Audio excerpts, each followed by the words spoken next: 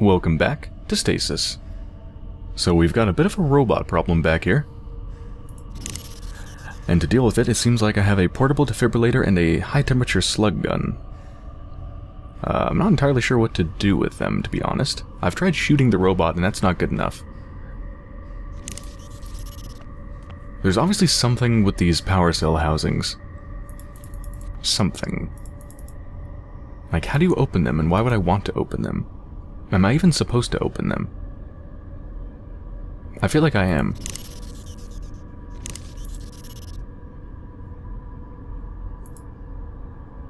Although it looks like, yeah, if I want to use something on it, I have to do it from here, not from the screen. Or I'm in it, because if I move my mouse to the side, it just disappears. I think that would break. Yes, it would. What if we use the defibrillator on a power cell? That makes... These don't go well no, together. that makes no sense. Alright, there's also this power pad, which does that every time I walk across it. That's gotta mean something, right? Like, is there any way I could pick up this power pad and put it in the pathway of the robot so then the robot goes over it and then gets, like, shocked or something?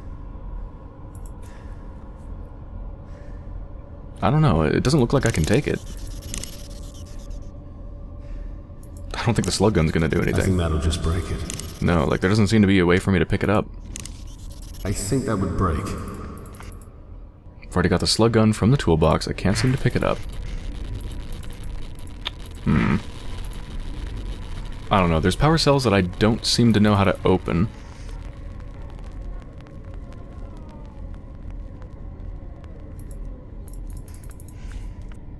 There's a power pad that I can't pick up, although I imagine if I could pick it up, I could put it in the way of the robot and probably have it drive over it and die that way. There's a sink here that has water. Hmm, I thought about possibly plugging up the drain so that the water spills out and then using the portable defibrillator on the water puddle. Like maybe once the robot stays here, it would be in the water and could and I could shock it, but I don't really have any way to block up the drain.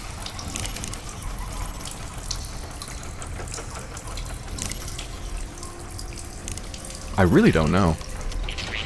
And I don't think there's enough time to get to the platform. Like, I could slowly walk behind it, but it just... mm, I'm pretty sure I would just die. Because I've gotten, like, I've gone right here behind it when its guns were switched the other way and it just instantly killed me. Maybe? It's possible, but it's really unlikely I could get to the platform in time. But there's another power pad up there, which also has to mean something, and there's also another sink up there. Like, I don't know. Mm, let's go back to the birthing laboratory. I use the defibrillator on that bloated fetus now. No. Crazy. I mean, the women certainly don't need it. They are still alive, barely.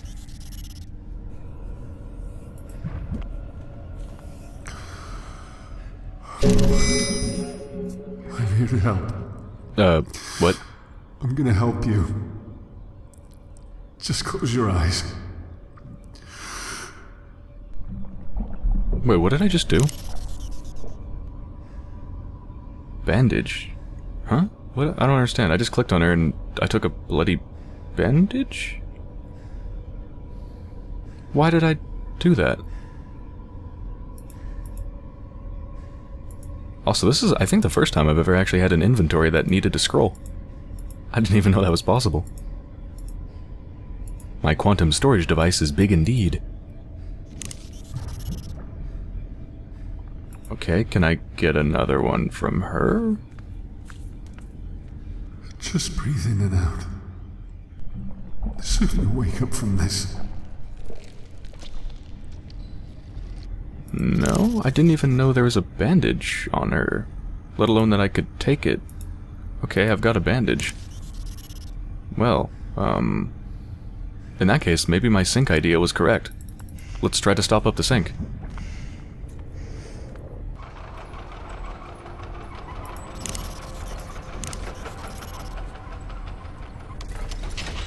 Yeah, okay, my sink idea was actually correct. Stop it up, let the water flow, and then use the portable defibrillator. Okay, and I'm gonna save just in case I accidentally shock myself. I don't know if that's possible, but uh, given what's happened in this game, let's assume it is.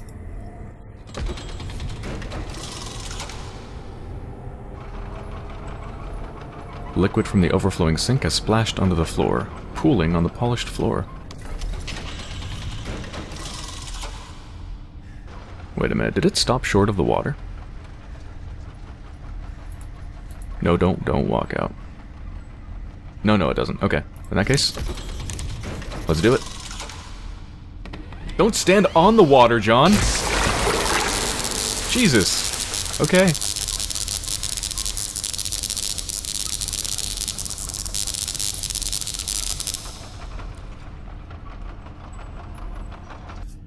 Wow. I thought for sure John was gonna die. He was standing, he still is standing right on the water as he shocked it. Just wait a second, I want to make sure this thing is actually dead for good. Let's apply the 5 second rule to dead robots. One, two, three, four, five. Okay, it's dead. Easy it. God, just need it to click out.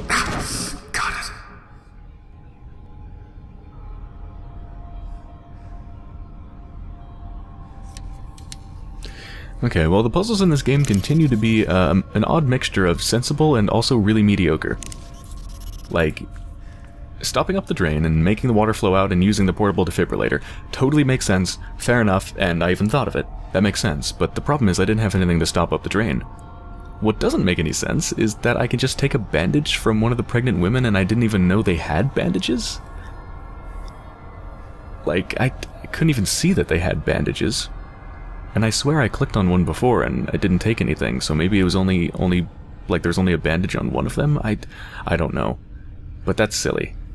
I don't like feeling like I have to click on absolutely everything like five times just to make sure I don't miss an item. Bleh. I don't like that.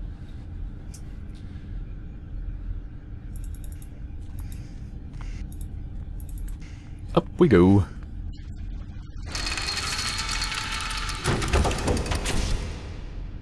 Well, if I was being generous, I would say that this is simply a force field that would stop me from going through it. But... Warning. The oxygen atmosphere generating system is no longer functioning. Product failure is imminent. But, given the game, most likely if I walk through this, I'll probably be chopped up like a carrot under a cook's knife. So I've got some twisted metal. Hmm. Hmm, I could probably use that to maybe open up the power cells or something. It's another sink. This one I can't use. Whoa, whoa, whoa, whoa. What does that do? Oh, do you have to stay on that and then it stops this? Notice. Instructions. Hmm. And technology that provides an energy boost for heavy-duty equipment. Okay. So it just provides power to whatever's standing on it. Hmm. Okay. I don't actually know how that's going to help me. There's no heavy-duty equipment here, but I do have things that could take the charge, I suppose. Metal and... Hmm. The airtight steel frame forms a secure barrier to the adjacent room. Should I try walking through it? Okay, let's try walking through it. I'm so gonna die. Let's watch the death animation. Oh, I can't. It's actually just a force field. Hmm.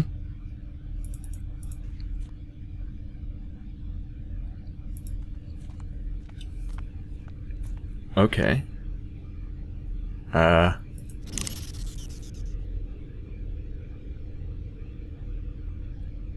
Um... Hmm, I don't think that'll work. Metal plus power pad, no. I could use this twisted metal to try to open the power cells. Don't really know the point of that, though. I do still have this canister. This isn't going to work. Mm, well, let's go to one of the power cells.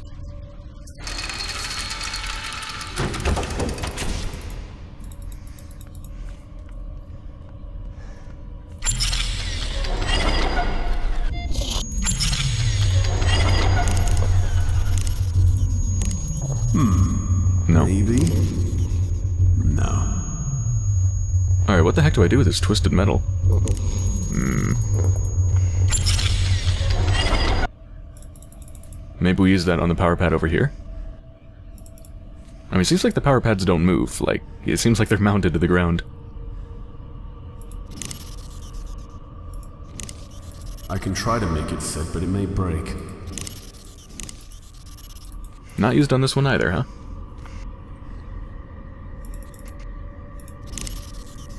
What am I supposed to do with this metal?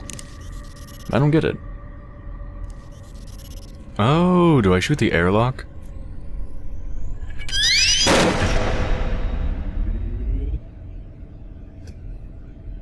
Uh... No?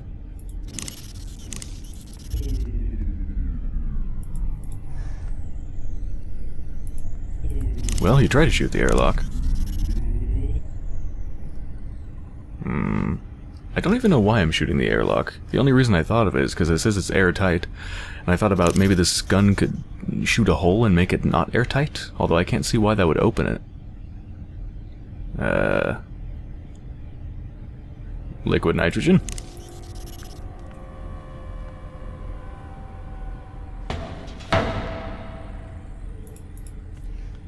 Do I have to stand on the power pad? Does it do anything? I mean, the gun works without the power pad.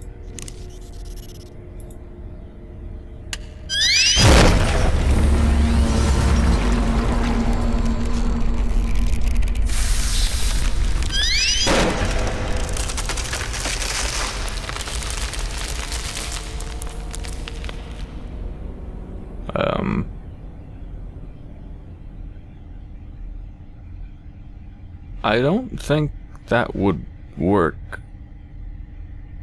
Hi liquid... Mm. A hydrogen canister doesn't really... Uh, no. I'm sorry, no, that, that wouldn't work. I'm not a scientist, but I'm pretty damn sure that wouldn't work. Oh, fuck. More test subjects.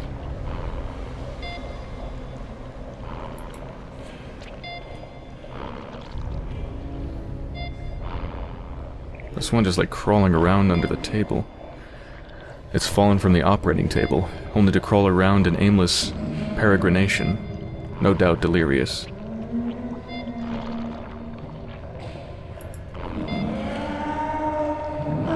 Frighteningly thin creature, courtesy of Cayne Corporation. I really don't need to look at these things anymore. What is this? Bone mending glue. Bone adhesive. Ew. It's gonna be useful, but that sounds really gross. Jesus. Can I, like, put that thing out of its misery? I don't think that'll work. Just let it writhe around on the ground? Alright. I'm sure that's from Dr. Malan, right? No, Dr. Charlotte.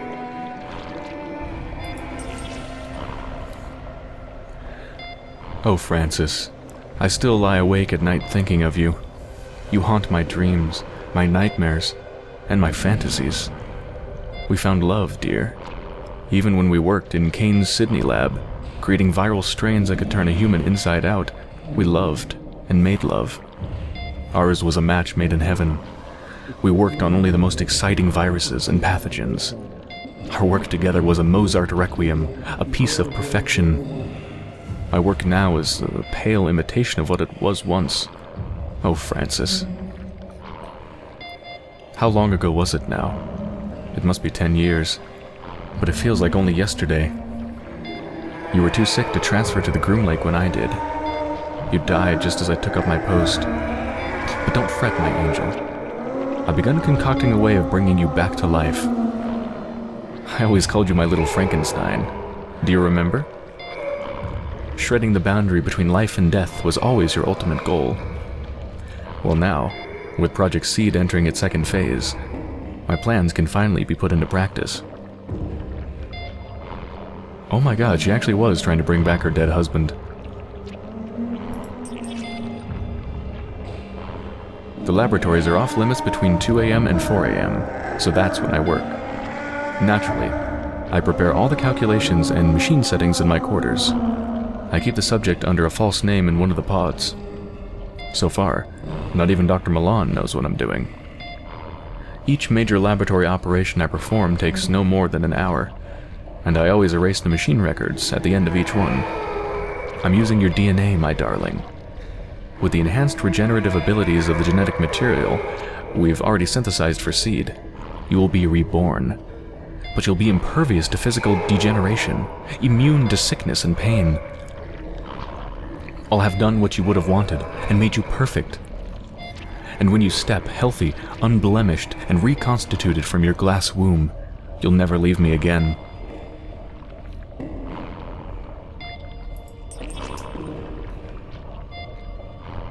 Things have felt strange lately. My work continues, but I swear, darling Francis, I can feel you watching me. I'm trying to work longer hours to complete the new and reborn you, but it's not easy. Marvin has already had a look at some of my work, I'm sure, as if he'd have any concept of what I'm trying to achieve anyway. I still wonder, my darling, why you cursed me as you died. You know it was an accident. I know you remember that. It wasn't murder. I've never committed a murder, not even when we tested the pathogen on those troublesome neighbors. It was an experiment. How were we to know they'd choked to death on their own innards? I suppose death was a possibility, but that's science. Choked to death on their own innards. What the fuck, Charlotte? Was every was every scientist on board a goddamn psychopath? I mean, we've seen some logs of scientists that aren't psychopaths, okay, like uh, Akiza? I, I think that was their name, Akiza, who's just trying to do good and get back their family name. But goddamn, a lot of them were psychopaths. At least three of them. I fear for your continued life. I'm afraid Malan knows. Who else knows? Have they contaminated you? I will run extra tests to make sure your code is not flawed or altered in any way. I'm anxious. I've started scratching my arms, badly. At this rate, I may end up looking like that leprous toad Backman. Uh, yeah, so let's just go down the list of people who are basically confirmed psychopaths. Uh, we've got Backman, We've got Malan. We've got Charlotte. And wasn't there a doctor a while ago, around the time I did the surgery on myself? I don't remember his name. Uh, but I'm pretty sure there was a doctor who basically said that he enjoyed seeing blood and doing surgeries and that he's sick and fucked up, and he knows it. I don't know if he's a psychopath, but yeah. At least three, probably four. Oh, my dearest Francis, I failed you. Malan knows. He confronted me about it directly. He wants me to make you just like them. I cannot have you crawling on all fours like some dog in the street. The very idea offends me. I will protect you with my life. You will be reborn. I swear this on my life. Uh, I have a feeling I might meet her experiment or something.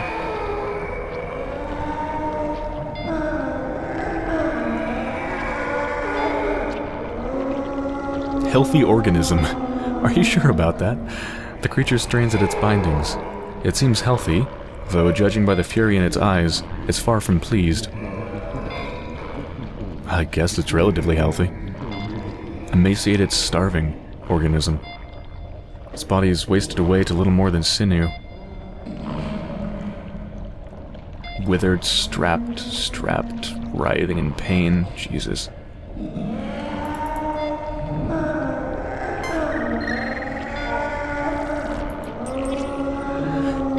Subject Lana.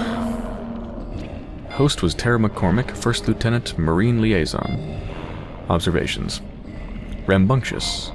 The subject appears to have inherited her mother's powerful physical build and latent aggression. Lana has the makings of an excellent alpha female candidate. Recommendation, move Lana to a group cell as isolation, isolation appears to promote irritability.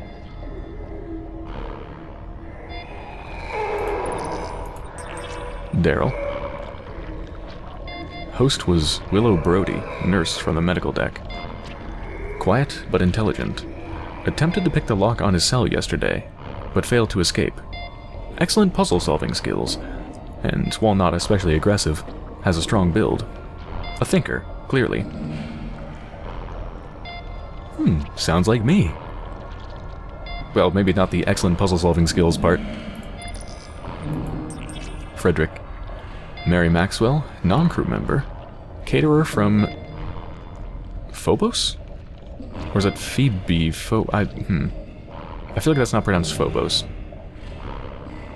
Anyway. Subject shows little of his mother's solid frame, but is a superb hunter. Stalks and learns tactics by observing the others. Appears to be developing a strong tactical mind. Nay. Eh, oh, God.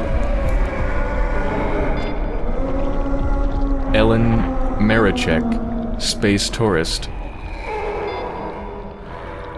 One to watch, cunning, extraordinarily fast and dangerous, appears to prefer isolation as attempted pairings result in fatalities, takes an alpha role easily, dominates the other novae, a definite candidate for Lana's mate. Oh, fuck.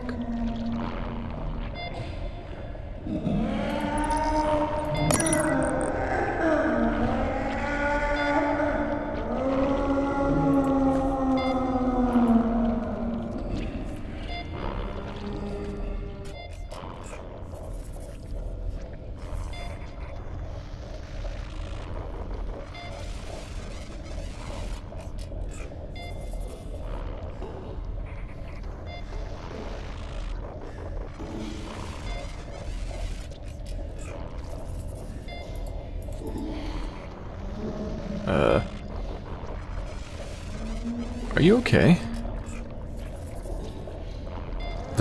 The, uh, projection of it seems to be squirming a lot faster than it actually seems to be squirming. The computer hums with activity, processing petabytes of essential body data. Wow, so this must be like a super special subject here that they're studying. Surprisingly antiquated considering the surroundings, but then appearances can be deceiving. Indeed. There's a glass wall over here and there's something glowing. That observation wall is stained top to bottom with an unpleasant array of sticky, dried substances. Life support. This machine charts the heartbeat of the wretch strapped to the table.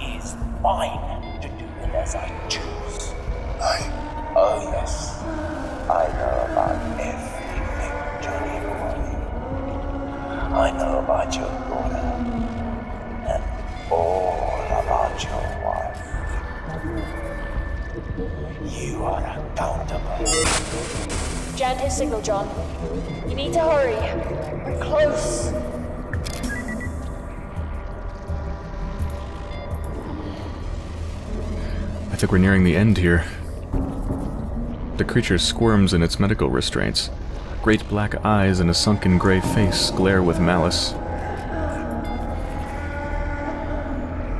Open power cell housing. The mechanical utility housing awaits a replacement power cell. Huh, looks like it needs three power cells. Hmm. Maybe I have to go back and open those three power cells to get them. A new remotely operated surgical model, and utterly lethal in the wrong hands. It could split steel just as easily as it does flesh. Ooh, that might be useful.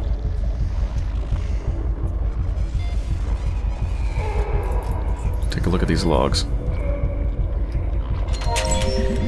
Ah, here's Dr. Malan's. Oh joy.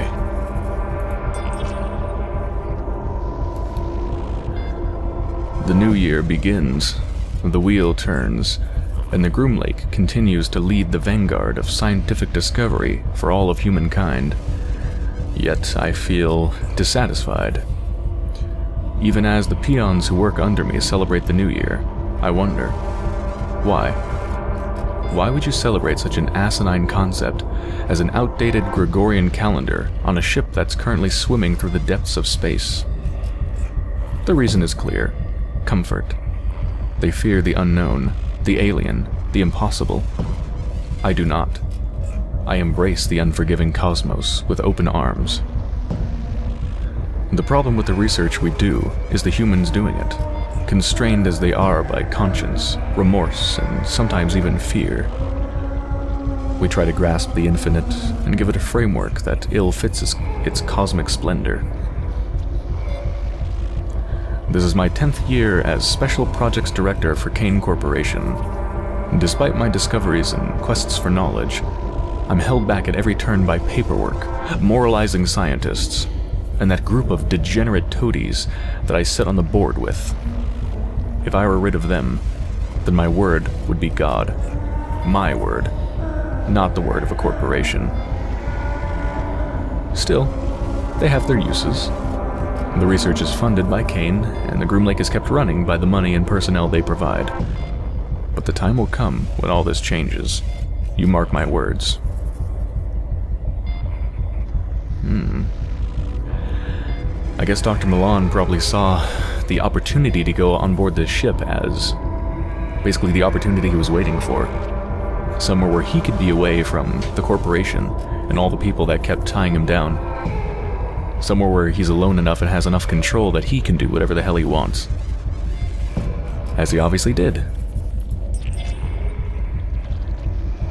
I'm inundated with emails from all departments about inconsistencies with storage and contaminated samples.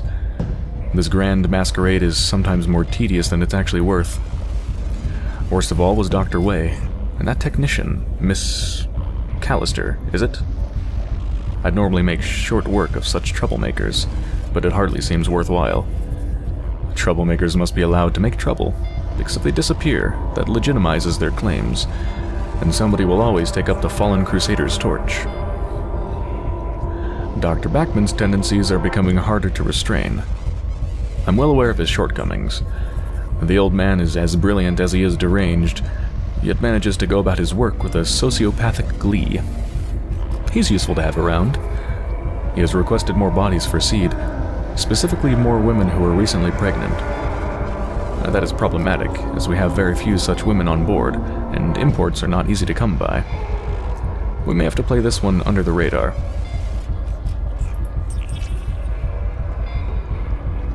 That fool Dr. Gray complained yet again about his beloved insects becoming more aggressive as a result of the power outages.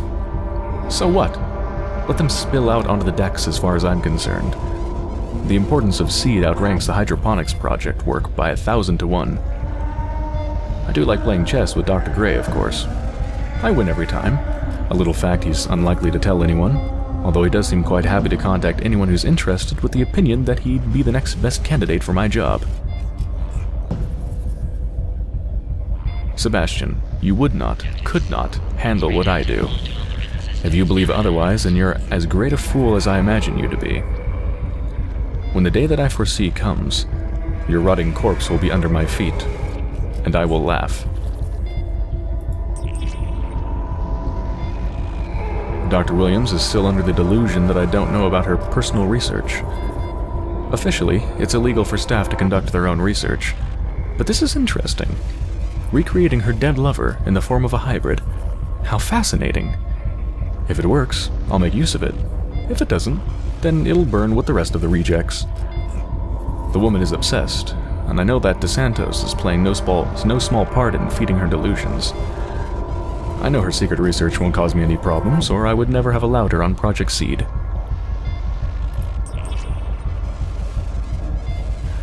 So, it seems contaminated waste from the corpse disposal overspill is contaminating the ship. It's causing fungal growths, or so my various drones tell me. The fungus is a riveting proposition, though. While I'm angry at Dr. Backman for terminating more subjects than strictly necessary, these unintended side effects are fascinating. I intimated as much to Dr. Gray, and of course stroked his ego with hints of promotion and glory. He'll keep the fungus alive. The engineers want it destroyed, but I'm sure we can delay that. This experiment is becoming more engaging by the day, and I haven't even had to lift a finger. So while they clog up my inbox with demands and Rome burns, I plan to play the violin. We're more than secure here anyway, and this has a certain inevitability about it. I must record the daily developments as the experiment grows. Okay, yeah, so that confirms what I was pretty sure about before, but this confirms it absolutely. Contaminated waste from the corpse disposal overspill is what caused the fungus. That is what caused the fungus to grow on everything, which I believe is ultimately what caused the explosion that let out everything and let out the test subjects and made everything go to hell.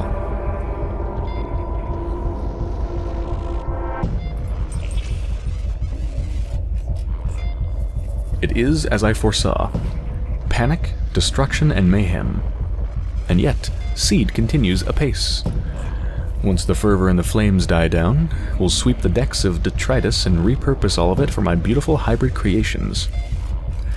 No more growing plants for the good of mankind. God is no longer in the machine, my friends. I am God.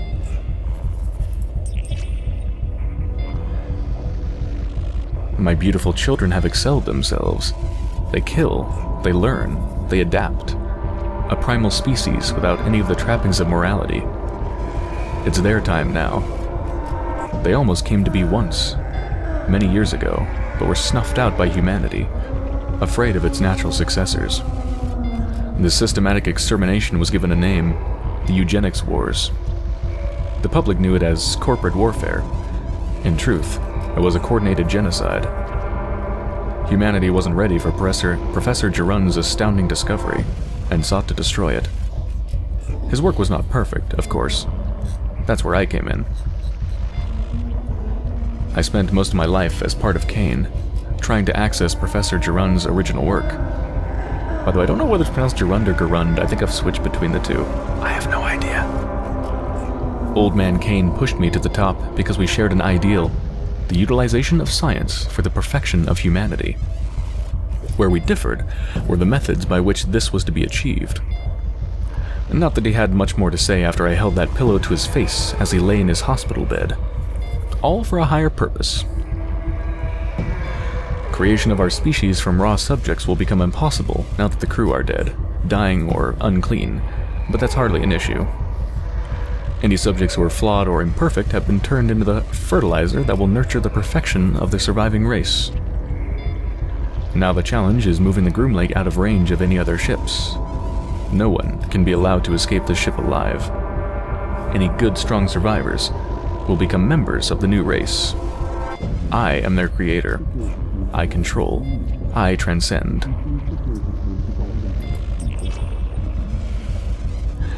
DeSantos, I'm so very disappointed in you. A distress signal. I thought we were of one mind here in Seed. I'll castrate and destroy you for this betrayal. Your flawed body is hardly worthy of becoming one of my children. But for now, I must turn off this accursed signal. You cannot hide from me, Marvin. You drug-peddling little fuck.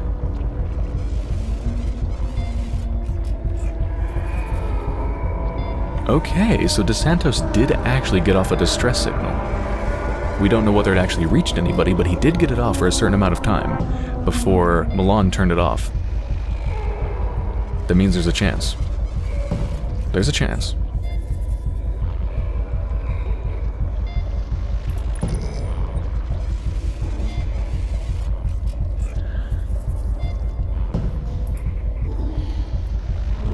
There's something I was going to talk about, but I don't remember what it was. Oh, yeah. So apparently he killed... He actually held a pillow to Gerund's face, or Gerund, and killed him. His obsession with these experiments goes far and wide.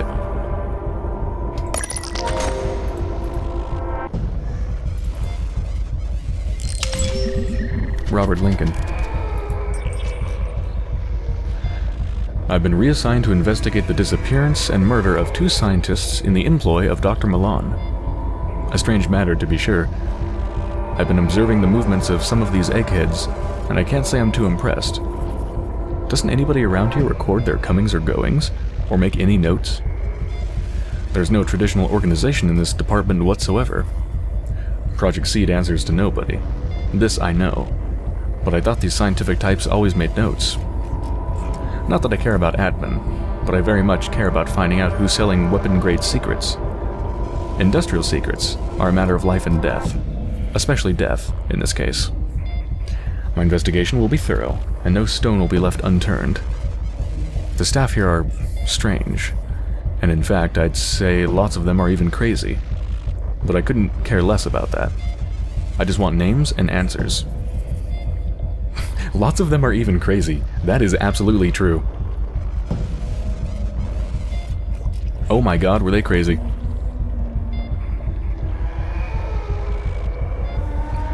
Well, Lincoln, I'm guessing Dr. Malan probably had you killed at some point once you started finding out too much. Investigating these disappearances.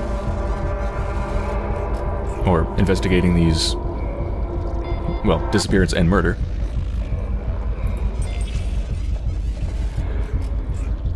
I got this job because I get things done, not because of my warm and caring personality. At the moment, people are taking umbrage to my investigation, but security is a constant and essential part of shipboard life, especially when we're talking about industrial espionage. I'm not sure where the two missing scientists are, but it seems, based on the modified records I've found, that they were killed and ejected into space. Any other man would assume that these two were the criminals, but I don't buy that. As far as suspects go, I've ruled out Charlotte Williams and Marvin DeSantos. Charlotte because she doesn't know where she is half of the time, and DeSantos because he's just a smirking shit for brains. I'm confident that he's involved in drug dealing, and I will give him this. He is cautious, and acts like he's a real ladies' man, but I know the truth. I've seen him rejected repeatedly at the bar.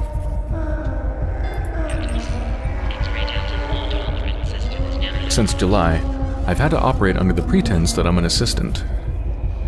It's lucky that in my career I had some emergency room experience. The only other person who knows about my true purpose here is Dr. Malan. He's been encouraging. He constantly supplies me with information that I require for my investigation, and at times is a little over-helpful. Still, he seems honest enough. For the record, I'm well aware of the kind of man Dr. Malan is. I've seen his experiments with my own eyes. I've seen what happens when the bodies are disposed of, and the burning fires of the furnaces. But he does what's required to justify the means. There are few men in this world who will do what has to be done. For that, I admire him. He told me to watch over Dr. Williams' experiments.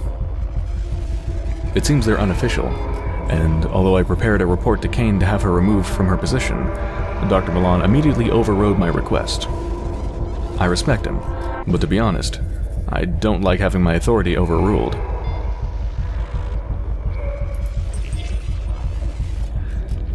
Backman, of all people, was sniffing around today. It seems the old sociopath suddenly became curious. I asked Dr. Malan for further instructions, and he told me to incapacitate the old man. This I did. A shame I had to break the old guy's kneecaps. Honestly, I was hoping to slit his throat, but Dr. Malan insisted that he remain alive. Alive and in pain, but unable to move. Okay. Yeah, so we read Dr. Backman's uh, PDA and he talked about waking up in the hospital with his legs broken, not remembering what happened.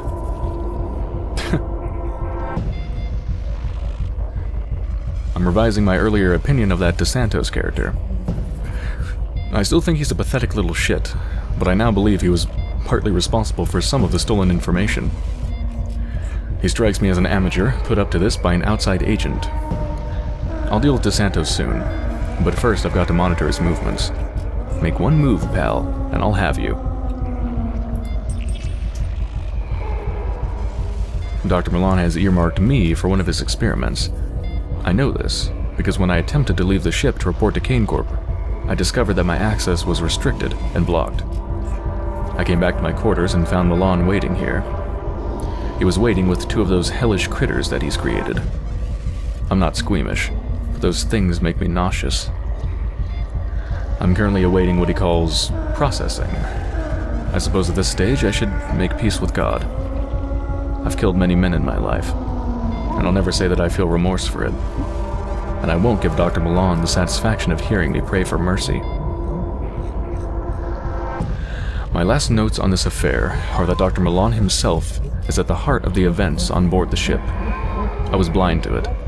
I refused to believe that he was capable of creating such devastation. I always thought that scientists liked control, but Malan breaks all the rules as far as science is concerned. The leaked information, the fungal growth, the missing scientists. I'm beginning to suspect he even knew that DeSantos was actually selling intelligence, and may have fed him the information to sell. To what end, I don't know. I suspect it was because DeSantos kept Backman drugged to the eyeballs with whatever powerful stimulants he happened to have, so Backman could continue his work. I can hear the machines being turned on. I welcome my fate. At least I know that I did my job for Cayne Corporation.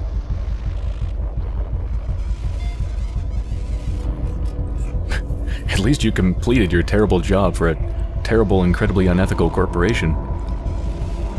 Not sure that's much of a satisfaction, but then again, this guy seems to be nearly psychopathic just like everybody else.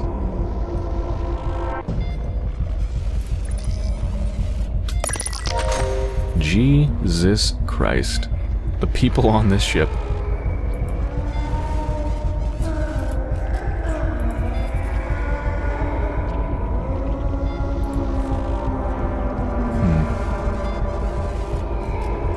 Yeah, so it looks like I do need the power cells. And there are three slots, and there were three power cell housings that I could potentially open back there.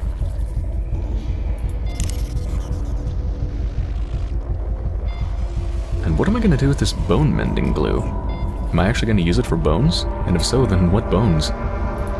I don't know. Alright, well, I was thinking I would finish the game in this episode, but it looks like not. These have been some very lengthy PDA entries to read. And my throat needs a rest right now. So, I hope you've enjoyed so far, and I'll be back soon.